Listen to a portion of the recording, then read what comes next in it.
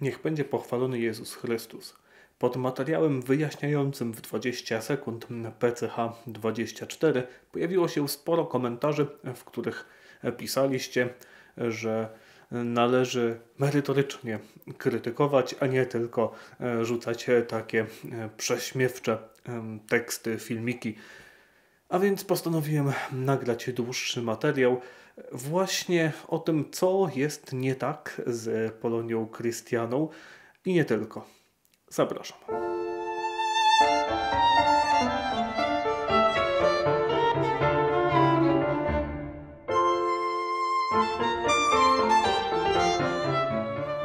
Wbrew pozorom materiał będzie ściśle bożo-narodzeniowy i nie będzie się koncentrował e, tylko na samym PCH 24. Chodzi mi raczej o zakreślenie pewnego zjawiska, które jest bardzo powszechne i które uważam za bardzo niebezpieczne.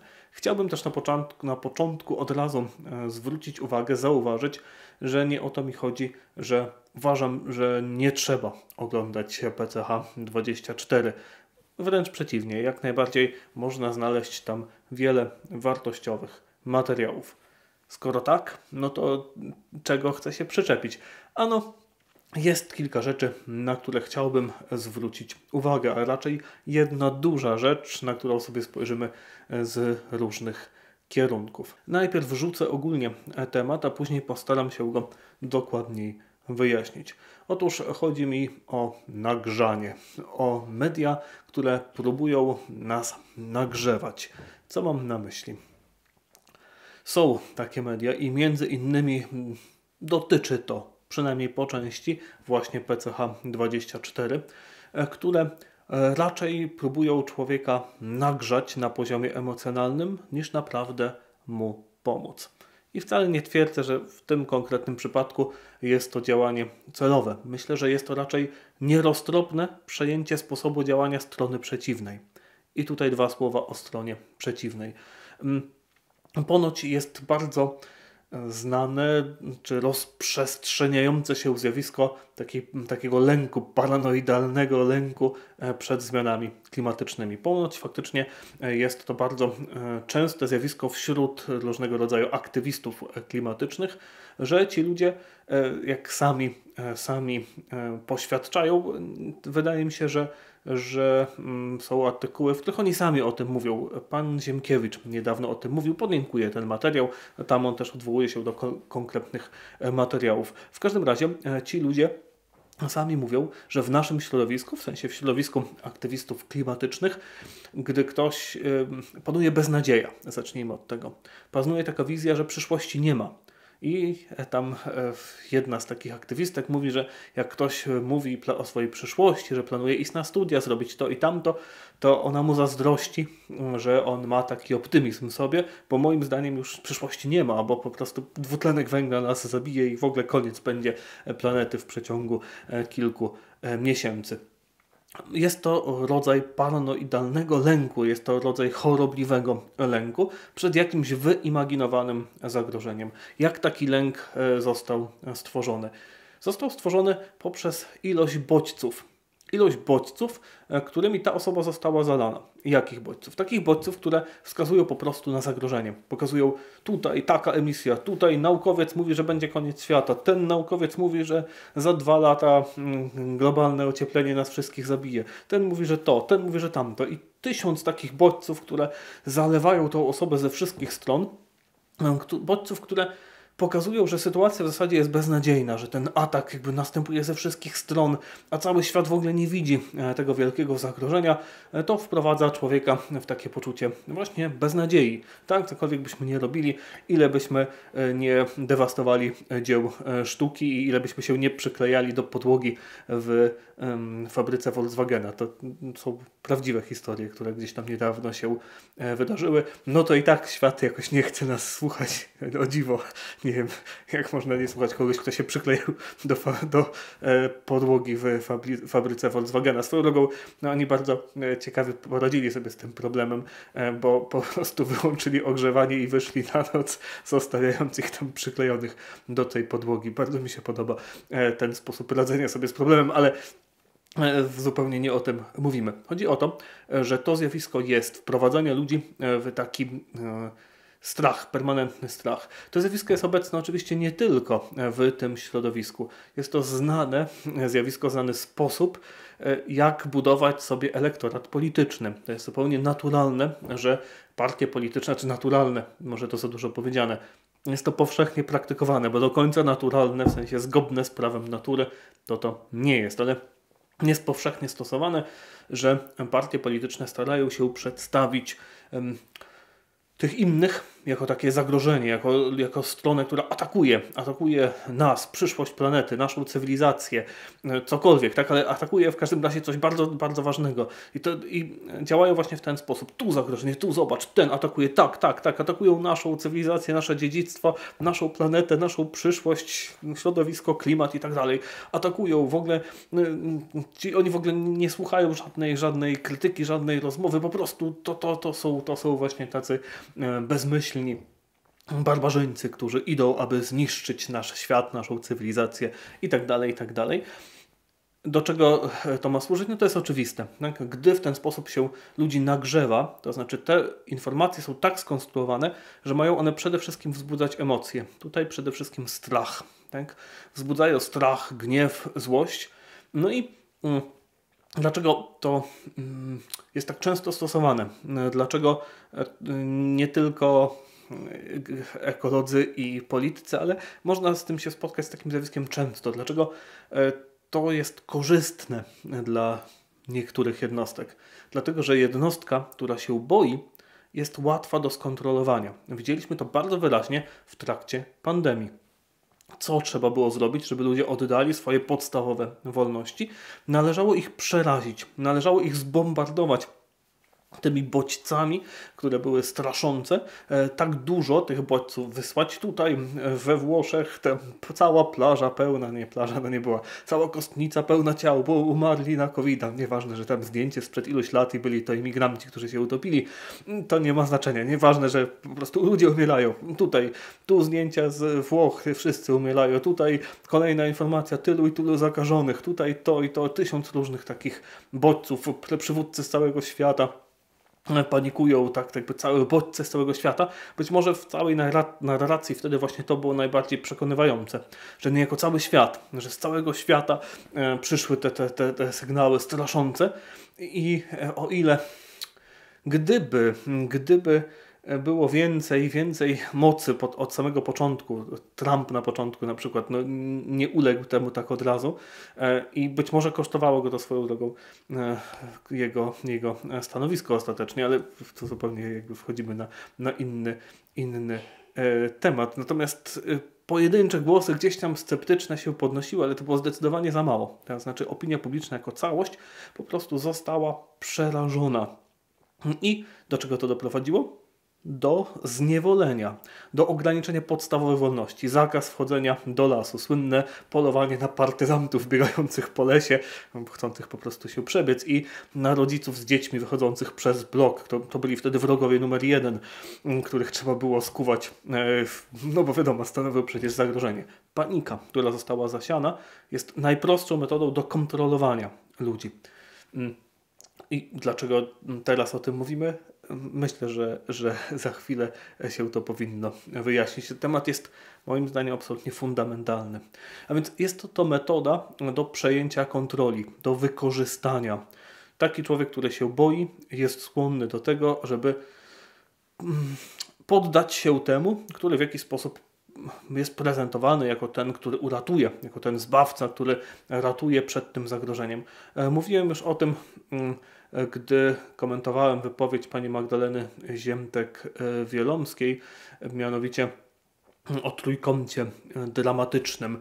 E, znowu to nie jest żaden masoński znak, po prostu tam była mowa o trójkącie dramatycznym, czyli e, jakieś zagrożenie, jakaś właśnie jednostka zagrożona i wybawca, który się gdzieś tam pojawia i jest to sposoba, sposób do przejęcia kontroli nad tąże jednostką, którą chce się przedstawić jako zagrożoną. Metoda stosowana również w III Rzeszy, gdzie pewne grupy etniczne były przedstawiane jako zagrożenie po to, żeby ostatecznie pojawić się jako ten wybawca, któremu pozwala się, którym, wobec którego akceptuje się zachowanie, których być może w innych warunkach jednak by ci sami ludzie nie zaakceptowali. Moim zdaniem ta metoda niestety e, często jest przejmowana, albo coraz częściej jest przejmowana również przez powiedzmy ogólnie nasze środowisko, mają, mam na myśli tutaj szeroko pojęte konserwatywne e, środowiska. Niestety, e, ta, tą metodę możemy dostrzec również e, po właśnie tej stronie barykady. To już jest trochę takie mówienie z tego trójkąta dramatycznego, ale również w tych bardziej konserwatywnych środowiskach można znaleźć ten sposób działania, który wydaje mi się, że został przejęty dlatego, że po prostu wydaje się, że działa, ale który jest szalenie niebezpieczny. I przykładem jest moim zdaniem e, przynajmniej po części w jakimś stopniu e, działalność internetowa e, kanału PH24, gdzie bardzo dużo jest właśnie rzucania takich takich haseł w stylu tu zagrożenie dla naszej cywilizacji, tu ofensywa bezbożnictwa, tu ofensywa satanistów, tu ofensywa kogoś tam, tu, tu, tu, tu, tysiąc różnych właśnie takich bodźców, haseł takich, które mają e, człowieka przestraszyć e, i pewnie w zamyśle e, twórców sprawić, że on właśnie pod wpływem tych emocji będzie skłonny do działania, do walki o, o cywilizację, tylko że to tak niestety nie działa, albo stety to tak e, nie działa i no niestety ktoś uległ tutaj e, złudzeniu i myśli, że to może zadziałać. Dlaczego to nie może zadziałać? To znaczy, dlaczego ta metoda zawsze prowadzi do uczynienia z człowieka niewolnika, zawsze prowadzi do takiej degradacji człowieka, jego deprawacji. Kłania się tutaj antropologia, to znaczy wiedza o tym, kim jest człowiek. To jest podstawa. To znaczy, dla jakiegokolwiek działania wobec ludzi jest kluczowe, e, za kogo postrzegamy człowieka, jakim jest człowiek. Dopiero jak to rozumiemy, e, to możemy mm, odpowiednio dostosować nasze działania. No i teraz e, to, że w III Rzeszy i że terroryści, terroryści ekologiczni stosują środki, które są zniewalające, to nas nie powinno zaskakiwać. Ale my nie możemy takich środków, broń Boże, przejmować, bo działamy ostatecznie na ich korzyść. Na ich, na kogo korzyść? No właśnie, znowu to jest trochę takie mówienie w stylu tylko trójkąta dramatycznego, nie na ich korzyść. Działamy wtedy na naszą niekorzyść, w sensie na niekorzyść człowieka w ogóle wszystkich ludzi tak naprawdę, na niekorzyść ludzkości, na niekorzyść wszystkich dusz, które mają cel, e, żeby dostać się do nieba. Dlaczego? Dlaczego zgodnie z katolicką, klasyczną antropologią ten sposób działania nie może przynieść dobrych owoców, przynajmniej długofalowo? Dlatego, że każdy z nas, każdy człowiek ma konkretny cel. Jest to zbawienie wieczne, jest to najważniejszy cel. Wszystko inne jest drugorzędne.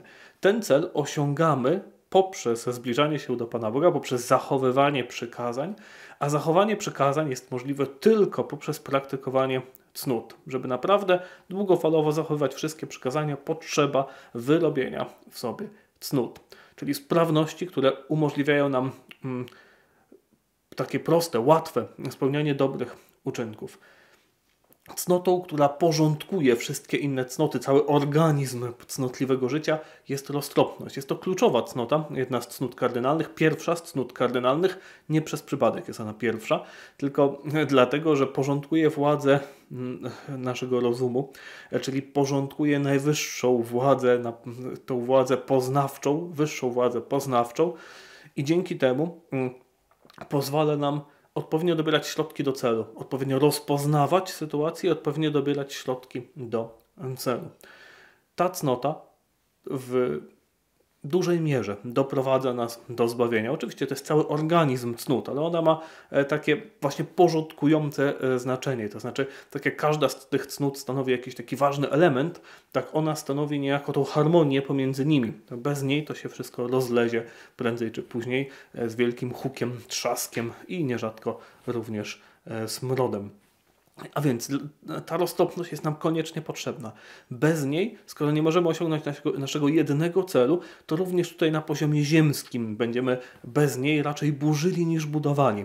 Nasze działanie, nawet jeśli w dobrej wierze, to będzie podjęte tak głupio, e, że raczej zaszkodzi niż przyniesie dobry efekt. Bez roztropności człowiek widzi właśnie jakieś zagrożenie, jest przerażony, działa jakoś tam e, przeciwko temu zagrożeniu e, i być może nawet osiąga jakiś cel, ale te skutki uboczne, które przy tym były, na przykład okazują się dużo gorsze niż to, przed czym chciał, chciał się obronić. Jest to typowe działanie dla człowieka, który nie posiada cnoty roztropności. Ten człowiek widzi coś, jest tym przerażony, działa jakoś tam, rozwala przy tym tysiąc innych rzeczy. E, ostatecznie wychodzi to na dużo gorzej niż było wcześniej. Tak działa człowiek, który nie posiada cnoty roztropności. Tak działa człowiek, e, który jest przerażony. Tak działa człowiek, który pozwolił swoim emocjom nad sobą zapanować. Tak działa człowiek, który jest wychowany przez ten system straszenia, przez ten system tych bodźców. Tu, koniec, katastrofa, atakują naszą cywilizację, zniszczą, atakują, e, tu taka, taki atak, tu taki, a tam jeszcze taki, koniec świata. Tak? Jest to rzecz szalenie niebezpieczna. Jak będzie działał natomiast człowiek roztropny? Człowiek roztropny, oczywiście nie o to chodzi, że on ma nie wiedzieć o zagrożeniach. Człowiek roztropny, gdy widzi jakieś zagrożenie, no to wtedy zastanawia się, jak najroztropniej wobec tego się zachować. Co mogę zrobić, co jest poza moim zasięgiem, co mogę zrobić, żeby siebie, moich bliskich uchronić przed tego konsekwencjami Roztropność znajduje najlepszą drogę, e, ocenia jakie będą skutki uboczne, zastanawia się co, co można zrobić, podejmuje takie działanie. Roztropność czyni człowieka wolnym, bo sprawia, że on nie ulega tym bodźcom, które przychodzą z zewnątrz. To jest kluczowe. Właśnie dlatego jest to stosowane, strach jest podstawową formą manipulacji. Bo gdy człowiek ulega temu strachowi, to bardzo łatwo jest gotów zrobić to, do czego zostanie poprowadzony, żeby uchronić się przed tym, co go tam przeraziło. To roztropność czyni człowieka wolnym, czyni człowieka podobnym Bogu w dużej mierze. Dlaczego? Dlatego, że rozpoznaje dzięki niej rzeczywistość, nie pozwala się zdominować swoim emocjom, które gdzieś tam reagują na pojedyncze bodźce i sygnały, tylko rozpoznaje rzeczywistość tak dobrze, jak jest w stanie i szuka najlepszych środków do rozwiązań. Dlaczego to czyni człowieka podobnym Bogu? Dlatego, że jest to władza niematerialna naszej duszy, władza duchowa. Bóg jest duchem, a więc jak najbardziej rozum i wolna wola to są te dwie władze, które czynią nas najbardziej na poziomie naturalnym podobnym Panu Bogu. Oczywiście później mamy to nadprzyrodzone podobieństwo, które wynika z uczestnictwa w boskiej naturze, które jest kluczowe później dla zbawienia wiecznego. Ale Tutaj nie o tym teraz mówimy.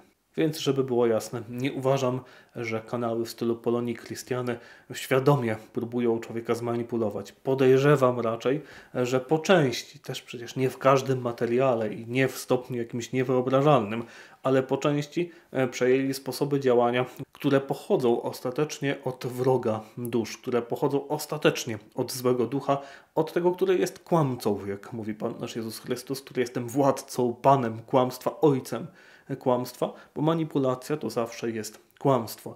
A więc te metody na pewno nas nie zaprowadzą do niczego e, dobrego. Ci, którzy je stosują, mogą świadomie próbować manipulować, natomiast podejrzewam, że w tych omawianych, w tym omawianym przypadku jest to raczej pewna nieroztropność. Ale trzeba się bardzo tego strzec. Teraz czego dokładnie trzeba się strzec? Trzeba bardzo się strzec skoncentrowania przede wszystkim na pokazywaniu pojedynczych zagrożeń. Tu takie zagrożenie, tu takie, takie, takie i takie i takie. Czy to oznacza, że nie należy o nich mówić? Nie. Jak najbardziej należy zagrożenia wskazywać, ale w jaki sposób wskazywać zagrożenia tak, żeby to było zgodne z roztropnością, tak, żeby to w ludziach pozwalało im raczej praktykować roztropność, niż wzbudzało ich jakieś wielkie emocje. Jak należy to robić? Należy przede wszystkim przesunąć pewien fokus, czyli punkt ciężkości, punkt, na którym się skupiamy nie ustawiać go na kryzysach i katastrofach, które chcemy naświetlić, tylko jeśli chcemy, uważamy, że trzeba wskazać jakiś, jakąś kryzysową sytuację, na przykład chcemy wskazać, że nowy porządek przy świętej jest zagrożeniem dla dusz. Staramy się racjonalnie wykazać, co wskazuje na to, że ten nowy porządek mszy świętej długofalowo nie ukształtuje katolickiej wiary w duszach. Nie zostawiamy ludzi tak po prostu z informacją, że tutaj upada wiara, tu koniec, tu ci nie wierzą, tam na zachodzie już nie ma wiary, tu tutaj nie ma, koniec świata. E, I zapraszamy tutaj, można zapłacić e, subskrypcję i kupić różaniec. Nie, tak robić nie można. E, należy wykazać, co się dzieje i jednocześnie przede wszystkim nacisk kłaść na to, co ja mam zrobić, jak ja mam się w tym zachować. I co to oznacza? Zachować przede wszystkim spokój. Zastanowić się nad, nad tą sytuacją, wybrać roztropne środki w mojej konkretnej sytuacji. Ten, I to drugie powinno być dużo ważniejsze niż to pierwsze, czyli ten aspekt tego konkretnego wskazywania, co jest roztropne, jak należy postąpić, e, jaka jest, jest ważniejsze od tego wykazywania, co jest niebezpieczne. I tutaj e, kluczowy jest ten spokój, to znaczy mm, zachęta do spokoju, podkreślanie też e, tego, że to przecież Pan nasz Jezus Chrystus zwyciężył świat, że nie mamy się czego obawiać, że i to myślę, że jest bardzo dobrym punktem przejścia do okresu liturgicznego, czyli do czasu Bożego Narodzenia. Ten czas jest właśnie takim czasem ściśle e, spokojnym, e, ściśle przepełnionym tym pokojem, tym e, poczuciem zwycięstwa. Pan nasz Jezus Chrystus przyszedł, aby nas odkupić. Oto jest Zbawca między nami. Taki jest nastrój tego święta, takie są teksty liturgiczne tego czasu liturgicznego.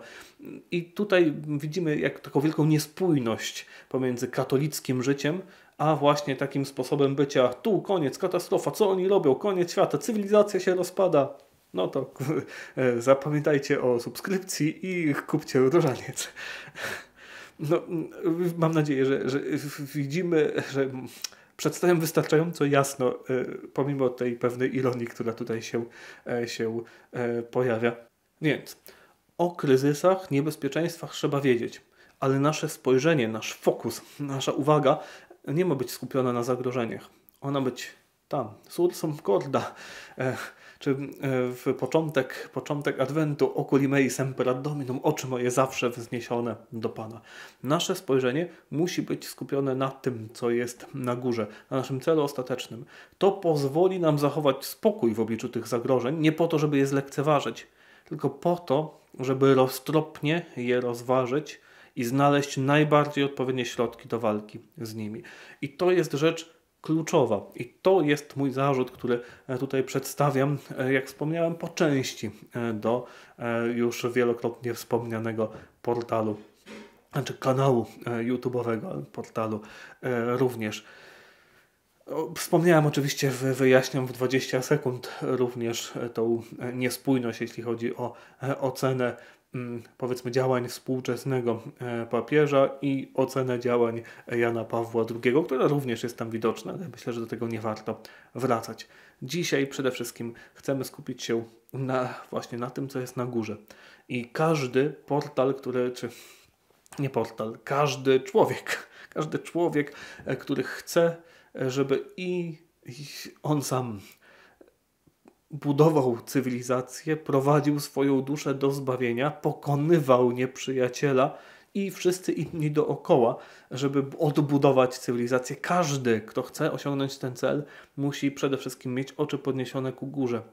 I nie pomaga w tym ciągłe rzucanie hasłami w stylu koniec cywilizacji, koniec świata, kryzys, katastrofa, bo wtedy ściągamy to spojrzenie przemocą na dół i tworzymy takich ludzi właśnie przerażonych. Co to będzie? O, ludzi, którzy cały czas się boją, cały czas są nagrzani, że tu nas atakują, tu koniec, tu, tutaj się dzieje, to jeszcze i co ja mam teraz zrobić? Jak tu w ogóle się teraz modlić, tak? Kiedy ja jestem taki przerażony, ja muszę tutaj coś, to tutaj trzeba zrobić i pojawia się tam tylko mnóstwo później obgadywania, złości, e, takiego, takiej zaciętości, zniechęcenia e, i oczywiście znowu ojciec kłamstwa osiąga w ten sposób to, co chce. Co my mamy w związku z tym zrobić? Jak już wspomniałem, podnosimy nasze oczy do Pana. Skorzystajmy teraz z tego okresu Bożego Narodzenia. Skorzystajmy z tego czasu, żeby zamiast właśnie czytać e, kolejnych 50 artykułów, czy słuchać kolejnych informacji o kryzysach, nie o to chodzi, żeby tego w ogóle nie słuchać, ale żeby to odpowiednio wyważyć, żeby to było w naszym życiu nie było, e, nie zajmowało nam 20% naszego czasu w ciągu dnia albo 100% naszego czasu wolnego w ciągu dnia, tylko żeby to był taki drobny element uzupełniający. Tak, musimy mniej więcej wiedzieć, co się dzieje, musimy pewne zagrożenia znać, jest to potrzebne, żeby ich uniknąć. Tak, ale przede wszystkim skupmy się na tym, żeby nasze oczy były wzniesione do Pana Boga. Co to znaczy? To znaczy, praktykujmy modlitwę jak najczęściej starajmy się chociażby przez chwilę z Panem Bogiem porozmawiać. Jeśli mamy chwilę, powiedzmy Panu Jezusowi po, po, prostu o tym, co nas boli, e, czego się obawiamy. Właśnie, jeśli coś nas przeraża, to pójdźmy na modlitwę i powiedzmy, Panie Jezu, e, bardzo mnie to przeraża. Tobie, Tobie ofiaruję, ofiaruję to, ten mój strach, tą moją niepewność. Pozwól mi sobie z tym poradzić, pozwól mi roztropnie wobec tego wszystkiego zadziałać. I jeśli już jestem w takim stanie, to nie szukam kolejnych 50 wiadomości, że coś tam, bo, bo tutaj się dzieje i koniec świata i katastrofa, tylko właśnie idę do Pana naszego Jezusa Chrystusa. W tym czasie poświęćmy czas, żeby chociażby posłuchać kolęd. Dlaczego to jest ważne? Dlatego, że kolendy mają bardzo dużo z tego prawdziwego ducha, tego triumfu, tego zbawienia, takiego spokojnego, pełnego pokoju zbawienia, bo to Bóg jest z nami. Pamiętajmy, Oto ja, e, zwycię... Oto ja zwyciężył świat, mówi Pan nasz Jezus Chrystus. Nie bójcie się. Natomiast przekaz takiego bombardowania tutaj różnych, różnych kryzysach e, to jest raczej bójcie się, bo oto świat zwycięża nas. Widzimy, że to, jest, to są dokładne przeciwieństwa. Pan nasz Jezus Chrystus zwyciężył świat i my jesteśmy powołani do tego, żeby razem z Nim ten świat zwyciężyć. I jeśli będziemy mieli nasze oczy wzniesione ku Niemu, jeśli będziemy praktykowali cnoty, jeśli będziemy zjednoczeni z Nim i będziemy e, zjednoczeni z Nim w pokoju e, serca, to będziemy w stanie faktycznie e, stanowczo, spokojnie, niezwykle celnie walczyć z nieprzyjacielem i wszystkie te kryzysy odpowiednio przetrwać. Ale do tego potrzeba tego zachowania spokoju. A więc roztropnie planujmy nasz czas. Nie marnujmy tego czasu na szukanie tysiąc różnych informacji, co tam się jeszcze dzieje. Jeśli mamy chwilę wolnego czasu, to pójdźmy na spacer, pomódlmy się, to w ogóle jak najczęściej, chociażby bardzo krótko, ale, ale jak najczęściej. W tym czasie Bożego Narodzenia, tak, posłuchajmy kolęd, spędźmy trochę czasu z rodziną, czyli wypełniajmy nasze obowiązki stanu. W ten sposób dużo lepiej się przygotujemy na radzenie sobie z kryzysami niż słuchanie tysiąca bodźców, co tam się jeszcze nie wydarzy i kto, tutaj, kto, kto nas tam jeszcze nie prześladuje. W kontekście tych bodźców i tego, co nas wyprowadza z równowagi, jest jeszcze ważna rzecz, taka powiedzmy bardzo praktyczna a propos osobistego rozpoznania swoich własnych wad i słabości. Otóż bardzo wartościową metodą do poznania samego siebie jest zastanawianie się, co mnie szczególnie mocno porusza, co wzbudza we mnie szczególnie mocne emocje. Czy to są właśnie jakieś tam wielkie e, kryzysy, czy to są jakieś osobiste doświadczenia, na przykład e, ktoś ma jakiś konflikt z kimś w rodzinie i to wzbudza w nim takie ekstremalne emocje, albo ktoś jest jakoś tak mega przywiązany do e, swojego dziecka lub wnuka i jak tylko coś tam, no, coś, coś idzie jakoś nie tak, to od razu wzbudza to jakieś takie ekstremalne, wybuchające emocje. Ktoś jest bardzo przyzwyczajony do jakiegoś, nie wiem, swojego e, sposobu spędzania wolnego czasu i jak tylko to zostanie jakoś naruszone, to od razu wzbudza to ogromne emocje. Gdy znajdziemy takie rzeczy, które potrafią nas momentalnie wyprowadzić z równowagi, albo które wzbudzają takie naprawdę potężne emocje, czy pozytywne, czy negatywne, które, nad którymi nie jesteśmy do końca w stanie zapanować, gdy takie emocje zostają rozpoznane, warto też prosić zawsze w modlitwie o rozpoznanie takich rzeczy, które wyprowadzają nas z równowagi. Gdy takie rzeczy zostają rozpoznane, to trzeba się naprawdę dobrze zastanowić. Aha, uwaga, to sprawia, ta, ta, ta sytuacja, ten bodziec sprawia, że, że te emocje mnie zalewają. Jak, to się, jak się w przyszłości zachować, gdy będzie taka sytuacja? Co zrobić, gdy to się znowu e, pojawi?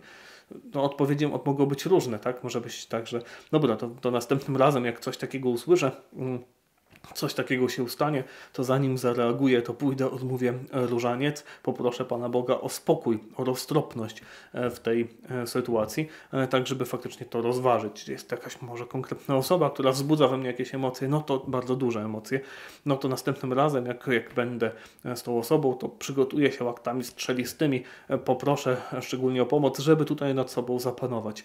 To jest, to są również akty roztropności, które mm, pomagają nam zapanować konkretnie e, nad nami w jakichś konkretnych sytuacjach, które nas osobiście z takiej równowagi wyprowadzają. To jest wszystko właśnie pracowanie nad tą roztropnością, nad tym spokojem, a więc nad panowaniem naszego rozumu, nad naszymi emocjami. To jest, co jest kluczowe e, do tego, żeby praktykować cnotę, żeby unikać grzechów na zakończenie tego materiału w ramach właśnie dążenia do tego prawdziwego spokoju. Spokoju, który nie wynika z ignorancji, tylko spokoju, który wynika z rozpoznania tego, że Pan nasz Jezus Chrystus jest w naszym sercu, jest w naszej duszy, jeśli jesteśmy w stanie łaski uświęcającej i cóż mi może wtedy zrobić ten świat z rozpoznania prawdziwie, jaka jest rzeczywistość, że nasz cel zależy tylko i wyłącznie od nas, to znaczy jego osiągnięcie. Oczywiście łaska, ale chodzi o to, że nikt nam nie może go odebrać siłą, przemocą, że jeśli my